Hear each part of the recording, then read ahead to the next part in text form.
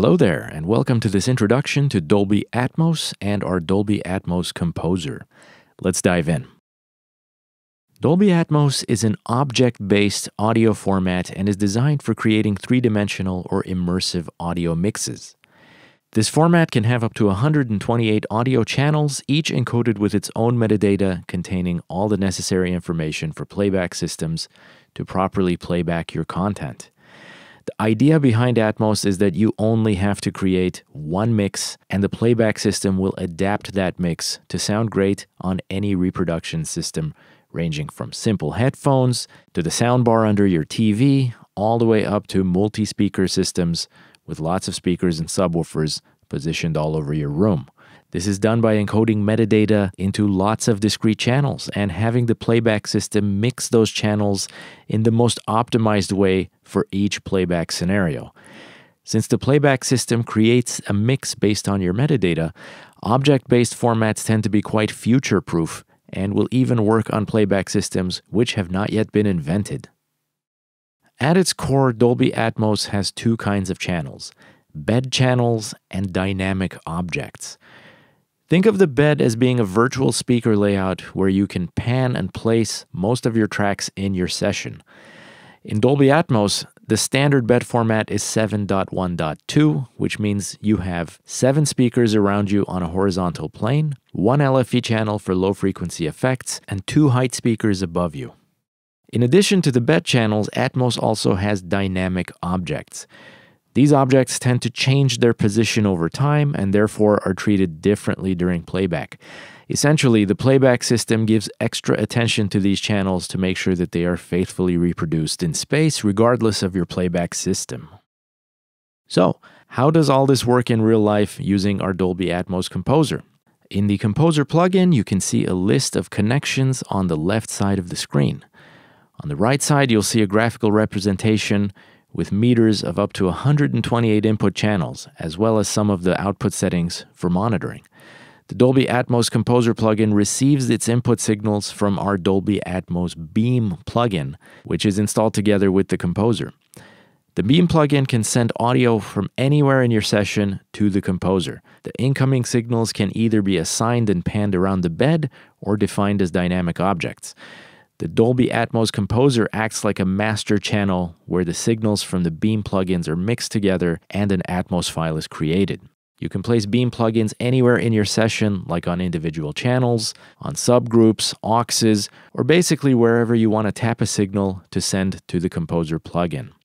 When viewing input channels in the Composer plugin, you'll notice all bed channels have an orange border around them, while dynamic objects are bordered in blue. Each incoming beam connection can either be assigned and panned to the fixed bed channel or set up as dynamic objects. That assignment is usually done in the Composer plugin. If you want the audio from a Beam plugin to be treated as a dynamic object, you can set it on the row of that Beam plugin in the connections list. Now, our Dolby Atmos Composer has extra flexibility that goes beyond what other Atmos tools offer in the marketplace. Instead of the term bed, we use the term composite because Dolby Atmos only has certain formats available for the bed. If you want to create a bed with a non standard number of channels, you would have to construct it as a combination of bed channels and dynamic objects that act like bed channels. These dynamic objects would not be used as intended and would actually be in a fixed position in space where your virtual speakers would be located. So, for example, if the composite is set to 7.1.2, as it is done here in our session, it only consists of Dolby Atmos bed channels.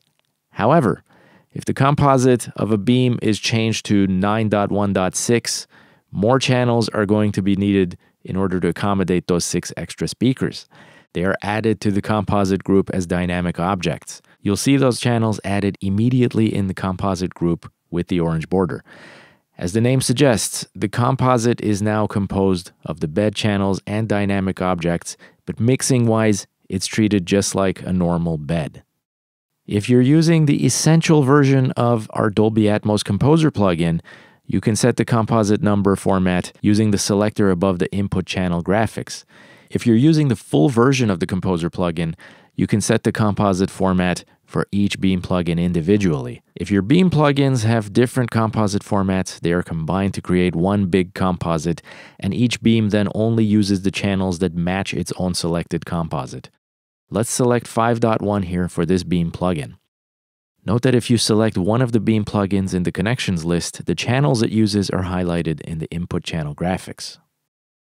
When you have finished your mix, it's time to export and deliver your work. Dolby Atmos content can be delivered in various different file formats, but the most common format is ADM BWF. ADM stands for Audio Definition Model, and it is a standard for describing the properties of audio. BWF stands for Broadcast Wave File and is a commonly used format in the world of broadcast. So, a Dolby Atmos ADM BWF file contains all the audio channels of your mix in wave format and the Dolby Atmos metadata as ADM. Now, if you want to create the ADM BWF file of your mix, you'll need to set the start and end points of your session as the in point and out point of the Dolby Atmos Composer plugin. Next, you click the Export button and tell the plugin where to save the file. Now, you can either use the bounce function of your DAW for a fast offline export, or you can just hit play before or at the in point and let the session play through. The bounce function tends to be faster, while the real time export lets you hear the final mix. However, the results are exactly the same.